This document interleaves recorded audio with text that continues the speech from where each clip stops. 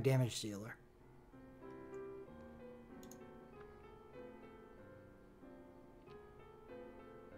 Uh, Kefka.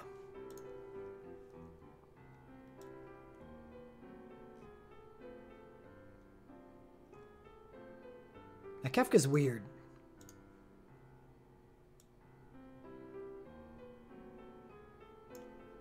Because this Burst Break 1 stinks. Symphony of Madness. Sounds cool, but attach poison.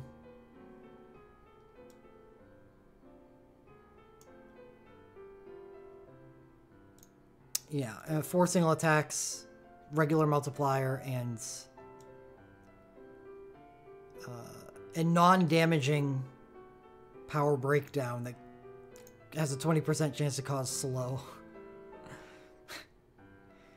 Just, that's really bad, uh, but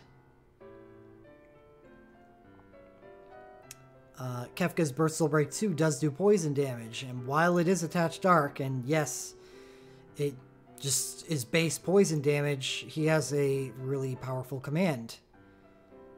Uh, we just went over for Magical Dark.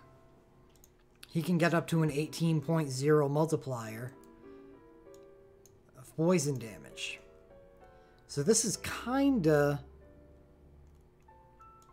like Thancred's, except it doesn't reset on cast. Because Thancred also doesn't have access to end poison.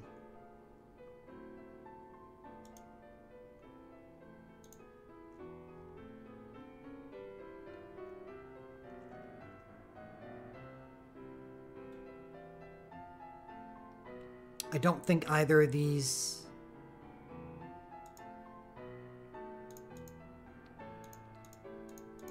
This might, after using a dark attack.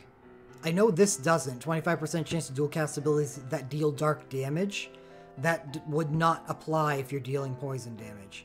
Say the boss is um, vulnerable to poison and resistant to dark. So you'd be dealing poison damage. But I think this might because it is considered a dark and poison attack.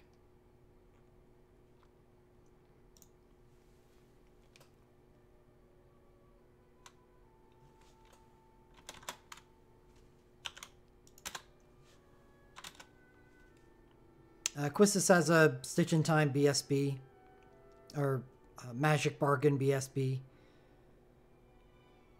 Um, support access.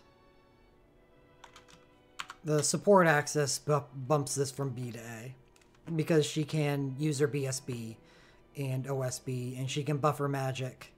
She's also a White Mage 4, which I really haven't factored in to a lot of anything, so I'm not going to here.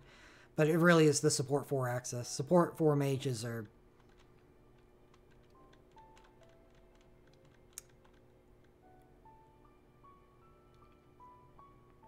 are a rarity and a gem.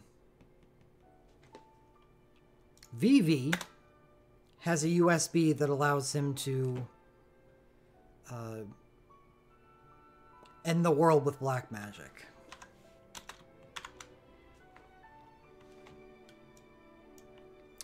And there is a five-star black magic ability for poison. Her OSB is a poison whip, yes.